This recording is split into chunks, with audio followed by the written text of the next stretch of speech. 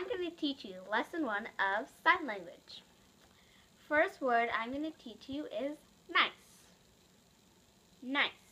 It's like you're smoothing out a bumpy center. Nice. Nice. Okay, now I'm going to do meet. Meet. Meet. It's like you're making an L and then doing meet. Meet. Okay, so you can say nice to meet you. Okay, um, next word we're going to learn is meaning. Meaning.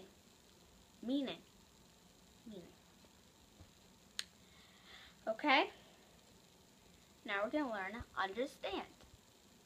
Understand. Understand. Understand. Like, I understand. Okay? Deaf. Deaf. Deaf. I'm deaf. I'm not really deaf. Hearing. Hearing. Hearing. I am hearing. Okay. Slow. Slow. Slow. Slow. Okay. Learn. Learn. Learn. It's like you're taking it from a book and putting it in your head. Learn.